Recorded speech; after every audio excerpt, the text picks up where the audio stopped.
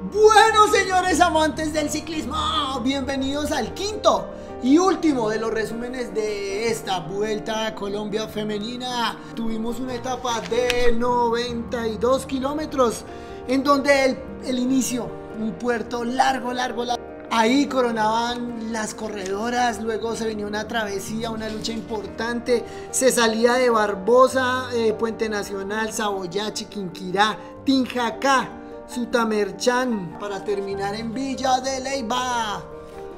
La ganadora del meta fue Marcela Hernández, corredora del Colnago CM. Felicitarla por esa bonita victoria. Ella cuenta en su entrevista que coronó el puerto de montaña un poco cortada y que tuvo que perseguir luego bastantes kilómetros, pero eso no le quitó esa lucha que dio al final para encontrarse en la victoria.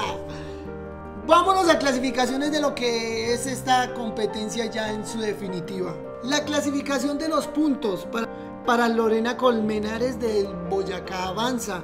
La clasificación de la montaña para Natalia Pardo, corredora del Colombia Tierra de Atletas. Los sprint especiales también para Milena Salcedo, corredora del Colombia Tierra de Atletas. La clasificación por equipos también para lo que es el Colombia Tierra de Atletas. Y la clasificación final de esta competencia. Ecuador en estos momentos está de moda. Deja a lo que es a Miriam Núñez, corredora del Liro Spa Alcaldía de La Vega, como la ganadora con 8 horas 46 minutos 12 segundos. La segunda ahí es Lorena Colmenares corredora del Boyacá avanza a 18 segundos. La tercera es Marcela Hernández, corredora del Colnago CM a 1.41. La cuarta es Natalia Pardo, corredora del Tierra de Atletas a 2.02. La sexta, Ana Fagua, corredora del Team Gem a 2.33. La séptima, Jennifer Ducuará, Merquimia proyecta a su equipo a 3.42. La octava, Estefanía Herrera, Selección Colombia a 4 minutos 29 segundos. La novena, Jessica Parra, Selección Colombia a 5 minutos 10 segundos. Y la décima, a Ana Cristina Zanabria, corredora del Colombia Tierra de Atletas a 5.12. Tenemos que agradecer a los medios de comunicación que hicieron parte, nos llevaron la competencia en vivo por televisión y también se tenía por radio en Antena 2, Señal Colombia, lo mismo que el canal RCN, muy bonito evento.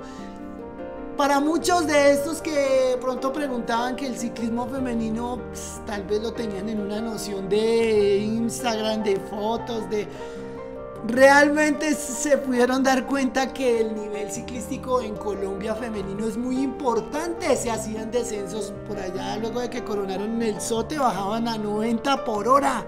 Las ascensiones a lo mismo, 24, 25 kilómetros por hora. Entonces es un ciclismo que se está llevando a nivel profesional. Es muy, muy profesional el ciclismo como se corre en esta categoría en donde de verdad el número fue muy importante, los patrocinadores están haciendo parte y es creciendo paso a paso de un deporte muy bonito. Esta fue la quinta edición de la Vuelta a Colombia que esperamos que tenga todas, todas las ediciones del mundo. Felicitamos a todas las damas, señoritas que hicieron parte de esta carrera tan bonita.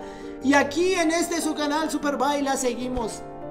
No me queda más que eso, felicitarlas por el día de hoy en este su canal de Superbike. Me despido, Mateinchi. Hasta luego.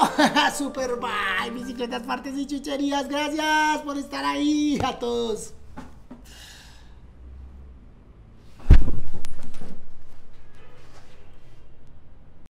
Esta transmisión fue gracias a Superbikes, partes, chucherías y bicicletas. Superbikes.